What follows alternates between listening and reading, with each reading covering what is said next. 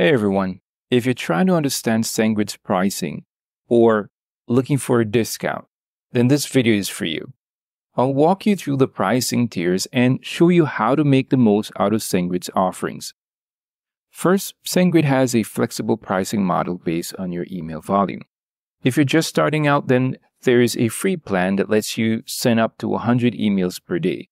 Perfect for small businesses or if you're just testing out the platform.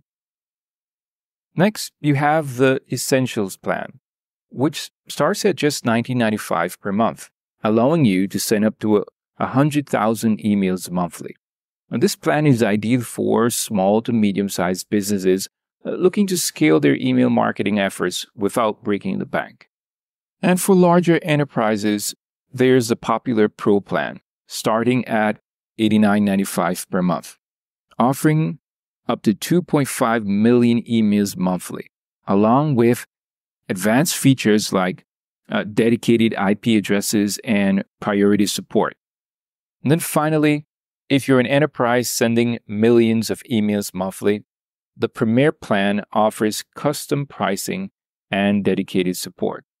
Now, if you're looking for discounts, SendGrid offers a few options as well. They periodically run promotions and students or nonprofits can apply for special pricing. So keep an eye out for these deals uh, to maximize your savings. All right, so I think that's just about covers it for SendGrid's pricing. If you want to dive deeper into each plan or maybe check out any current discounts, uh, the links are in the description. Thanks for watching, and I'll see you in the next one.